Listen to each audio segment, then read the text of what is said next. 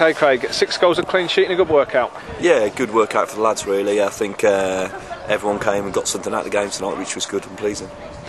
All the 11 players got 90 minutes under their belt, so that's uh, you know another good tick in the pre-season. Exactly, and I think that that's the main thing about pre-season is getting that fitness ready for the uh, for two weeks' time for when it starts, really. So uh, yeah, happy that everyone came out um, unscathed and, and can push the next game now.